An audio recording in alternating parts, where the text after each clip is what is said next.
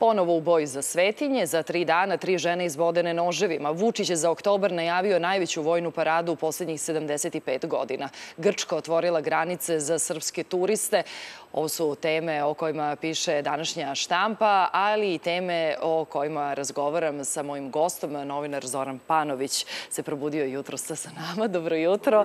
Hvala vam eh, što ste eh, došli. Eh, pa evo da prokomentarišemo ovo što smo zajedno gledali nastavak e, litija, e, propali razgovor i dogovor između Vladike Amfilohija i Mila Đukanovića? Pa da, ono što je interesantno medijski to je da epidemija, odnosno pandemija, nije smirila tenzije, malo te ne nigde. Znači, tenzije i u Srbiji i u Crnoj Gori su porasle, ili su se nastavile onim intenzitetom gdje su stale kada je počela... Na koje tenzije mislite u Crnoj pa Gori znamo, na tenzije u Srbiji? Pa na tenzije isto u Srbiji, vlast i opozicija, isto na jedno društvo koje je također podeljeno samo na drugi način. I plus smo dobili naravno nove tenzije koje vidimo po svetu, na primjer u Sjednim američkim državama. Tako da jednostavno Crna Gora je složeno pitanje. Pre svega što se tu radi o identitetu.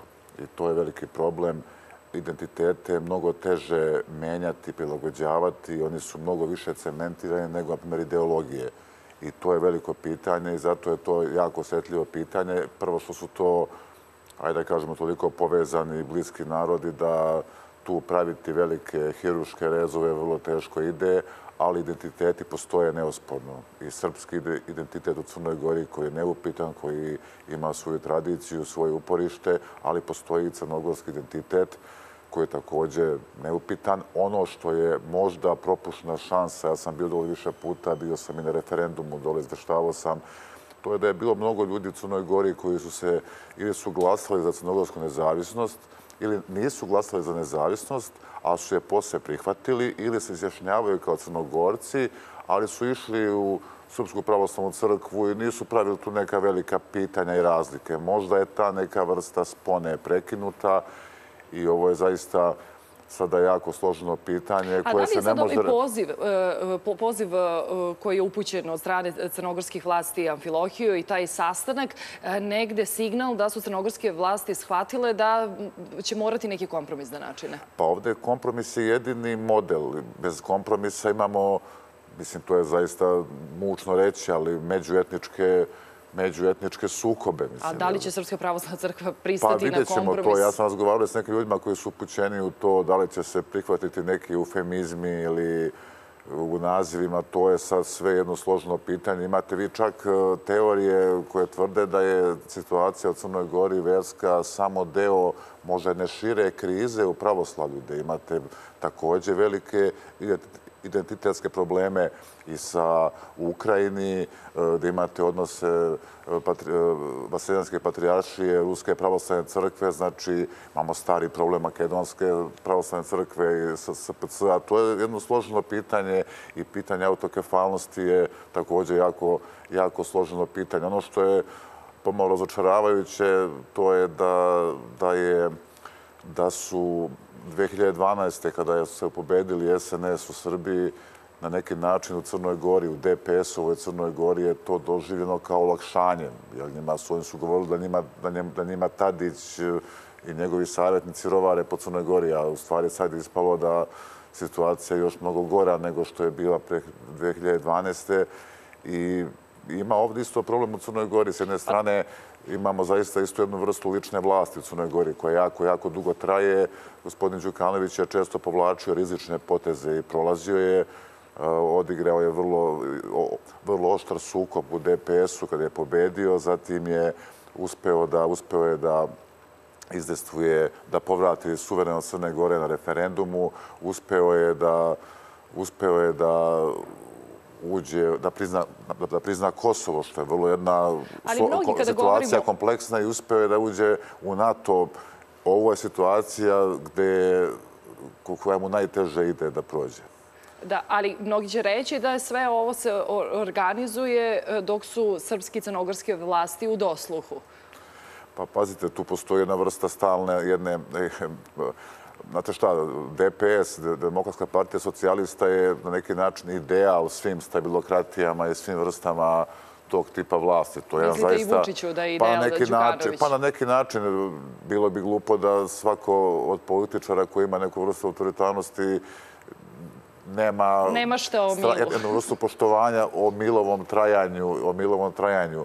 Ali, je, ali to trajanje je zaista sada već dugo i pitanje, pazite, Crna Gora isto u izveštaju Freedom House-a, iako je, iako je ispred Srbije na evropskom putu formalno, iako je članca NATO-a, ona je isto okarakterisana kao hibridna ili nekonsolidovana demokratija. Znači, jednostavno, ovdje je problem u Crnoj Gori vrlo veliki problem što je što linija vlasti opozicije ide po identitetskim pitanjima. Znači, to je, Srbi su opozicija, Crnogorci su vlasti ili neke možda manjine to je, to je jako veliki problem.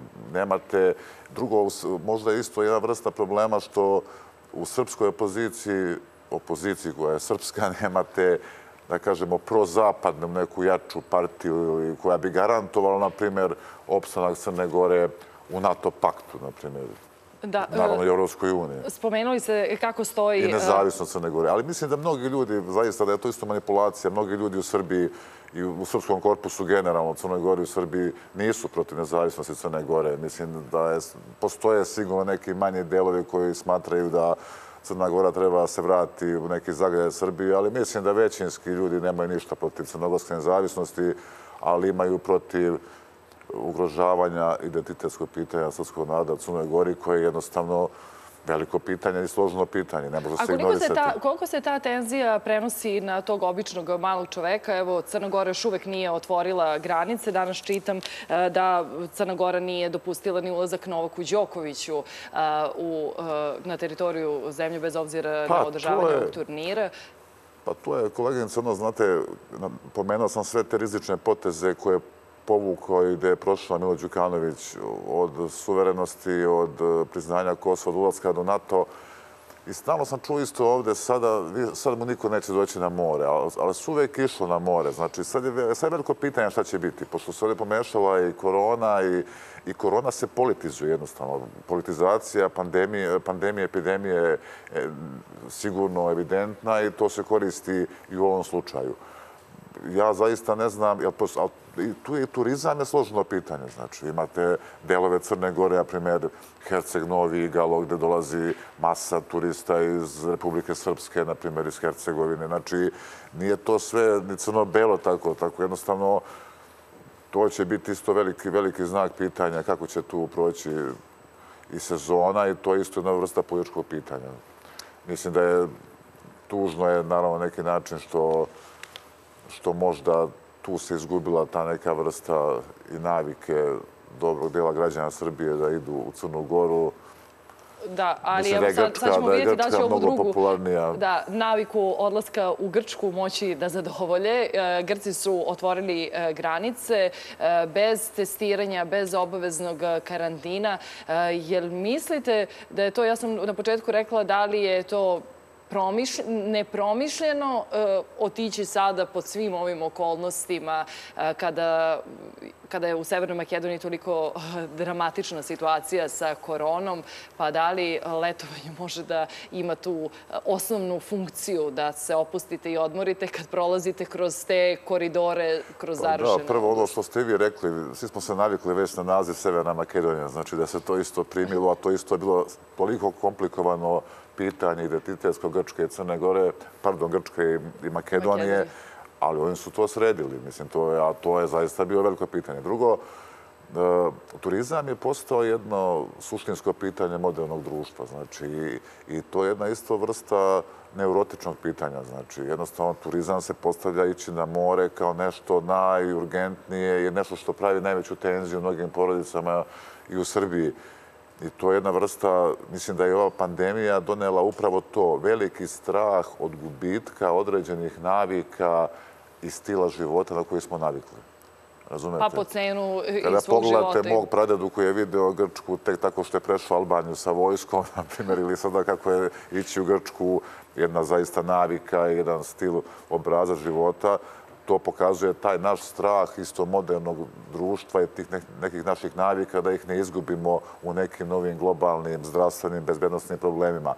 i taj koridor kroz Makedoniju ići na more koridorom isto malo onako interesantno pošto ja znam kad često idemo, mnogi koji idu često u Grčku, primjer, imate pet sati, tako da prođete, to znači sad isključuje mogućnost vratiti, na primjer, kod Đerđelije na, na, čuveno, na čuvenu klopu u, u tu kafanu ili mnoge neke tačke koje su ljudi zaista volili da svrate, neobično, ali se ide, znači, mislim... Imate... Ja biste se vi osudili?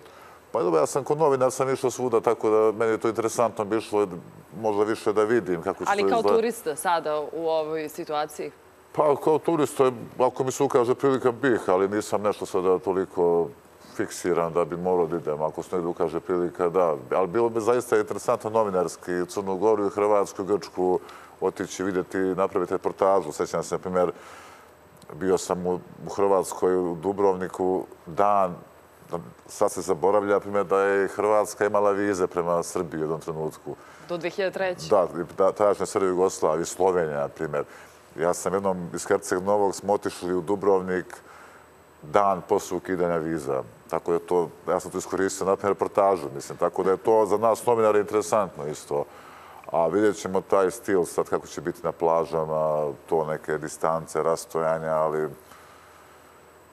Vidjet ćemo to. Da, vidjet ćemo. Naš reporter je na granici e, kod Prešava, tako da će nam u toku emisije izveštavati. E, malo pre ste preneli ocenu Freedom House-a o stanju medija u Crnoj Gori. Demokratije, generalno. Molim? Demokratije, generalno. Aha, demokratije, da. E, na naslovnoj strani danas vlast Kriku duguje izvinjenje, a ne pretnje. To kaže šef biroa reportera bez granica za Balkan. Govori se o svema onome što se dogodilo o otimanju telefona novinarki e, Krika. E, pa e, on navodi ako političari zovu medije blatom i prete da će pobediti sve njihove laži, to može da preteći da deluje na novinare koji rade u javnom interesu kako gledate na čitavu tu situaciju, na nereagovanje policije i na potpuno zataškavanje tog slučaja? Pa da, imamo tu istu situaciju. Kada pogledamo koleginicu Lalić iz Novog Sada za vreme pandemije, sad je druga koleginica izbila u centar pažnje zbog određenog odnosa vlasti. Nije lako biti novinar u Srbiji, zaista, i mislim, baviti se još tako nekim istraživačkim novinarstvom i tu zaista veliki respekt ova situacija je interesantna što se koristi, što je opoziciji dobro došla da u nedostatku možda boljih, jačih, eh, jače kampanje koristi ovo i za neku svoju promociju i za neki napad na, na vlast, pre svega na predsjednika Vučića i pošto je na neki način predizborna isto deo predizborne kampanje i mislim da za razliku od nekih tačaka gde vlast i predsjednik Vučić idu jako ofanzivno, koji su, na primjer, uspeli kampanju budućnost Srbije da prevedu vrlo elegantno iz defazivne u ofanzivnu. Mislim da je ovo jedna tačka gde je predsjednik e, u ponekad u defanzivi i zato to odgovara, odgovara, odgovara opoziciji. Treba to posmatrati isto i u tom kontekstu u tom kontekstu i kampanje, jer kampanja je i za izbore i za bojkot. Znači, to je kao što je sve kampanja sad što vidimo na naslovnim stranama, od vojske do fotografija. I kad vidimo, znate, ono, naša deca, pazite, naša deca, kad je krenuo slogan kao jedan, da kažem, malo populistički, demagoški možda slogan, ali kada pogledamo slučajeve i sa decom Dragana Đilasa i ovaj slučaj sa sinom Aleksandra Vučića, vidimo da deca se personalizuju da dobijaju sasvim drugu konotaciju onda i ti slogani, a isto je Juče to isto za, to ste pitali za vojsku, tako? Da, da, da. Sad kada ste rekli da se sve, da sve politizuje i da sve kampanja, evo, predsjednik Vučić najavljuje, najavljuje najveću paradu u posljednjih 75 godina za oktober u Beogradu. Juče je bio u Takovu i postavio je prvi put zastavu. Pa pazite, isto je jedna dobra dobra marketinška situacija. Znači, ja znam kroz istraživanja, kroz istraživanja javnog mnjenja dugi niz godina dve institucije koje uvek imaju visoko povjerenje u društvu su vojska i crkva. Znači, jednostavno tu se uvek vodi računa i marketinški šta se radi. Znači, pazite, ovdje imate dve kategorije. Imate s jedne strane zaista ljude koji su zaslužili jednu vrstu respekta. To su ljudi koji su bili u ratu, bili na košarama, bili na paštiku, koji su zaista izneli težak teret težak teret ratnih dejstava i prema njima se zaista treba pokazati uvek jedan pijetet, bilo koja vlast, ali s druge strane imamo jednu vrstu i korišćenja marketinškog jedna vrsta militarizacije, militarizacije kampanje u ovom slučaju je zaista prisutna. Ona sigurno daje marketinške efekte, pre svega zato što neke jedinice vojske kao što je 63. padobranska imaju neku vrstu kultnog statusa i u vojsci i u društvu i nekoj našoj modernoj istoriji. Tako da je to... A čak se to nije promenilo... Tako da je to, ali zato pa opozicija voli da koketira. Zato Boško Obradović je pozivao uvek vojsku, policiju da okrenu leđa. Ovdje sad vlast pokazuje da sistem radi, da je sve u institucijama, da je vojska normalno funkcioniše. Nema, da... nema pretorijanske tradicije. Znate, u srpskom društvu su uvek se pozivalo i koketiralo sa tim pretorijanskim tradicijama. Vučić je sad juče stavio do znanja neke stvari kako stoje u, u, tim, u, tim, u, tim, u tim sferama i pokazao je neku vrstu da je on, on se juče postavio kao, ono, kao vrhovni komadant i vojska to očigledno smatra da je tako. Da, kako objašnjate da se to čak nije promenilo ni za vreme korona? U stvari, u jednom trenutku, kada smo shvatili da nemamo dovoljno respiratora, kada smo shvatili u kakvom stanju nam je infektivna klinika, onda se moglo čuti e, to zašto ulažemo u naoružanje, zašto toliko ulažemo u vojsku, a zdravstvo nam je na ovako niskim granama.